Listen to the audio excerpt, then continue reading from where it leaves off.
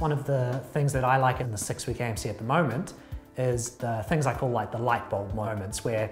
people start with simple systems that we give them, they follow our advice, and they actually get something profitable. That moment where they've had no success in affiliate marketing in the past and they finally get something that makes some money and is profitable, even if it's just $5 a day, that is a moment for them where they realize I could actually do this, like I can actually see this working for me. So I think that's a success which goes a bit uh, underrated, but is really important.